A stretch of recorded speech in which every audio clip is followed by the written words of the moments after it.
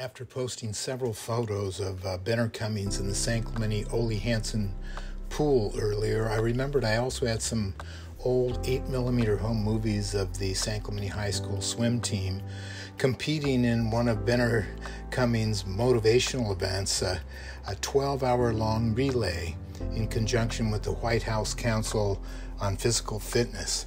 According to a Sun Post article written about the relay my mom had saved in a scrapbook for Malcolm and I, we completed uh, 31 and a quarter miles in the 12 hours starting at 8 p.m. Saturday night and ending Sunday morning at 8 a.m.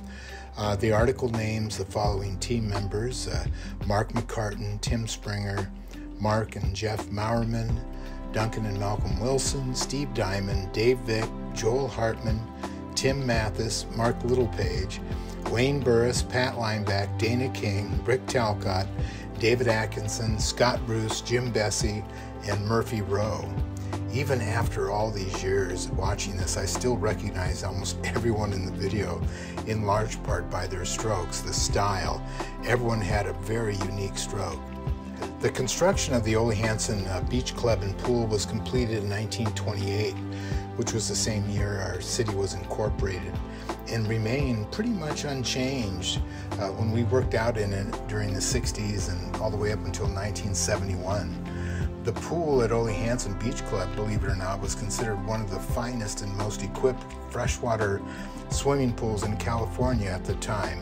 In 1932, the Olympic tryouts, or trials, were held there for swimming and diving and included legends such as Duke Kahanamoku, Johnny Weissmuller, and Buster Crabbe, the last two playing Tarzan in Hollywood in 1932 and 33, respectively.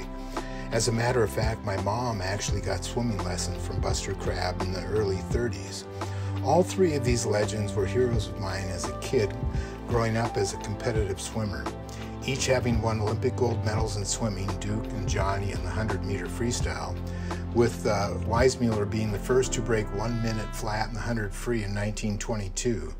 They used to jokingly say it took Tarzan to beat Duke Kahanamoku. Breaking that 60 second barrier became an overriding goal of mine from an early age. My brother and I were extremely fortunate to actually meet Duke up at the Huntington Beach uh, U.S. Open in 1967. We were there for a junior lifeguard competition that took place about the same time. Good times for sure. Aloha.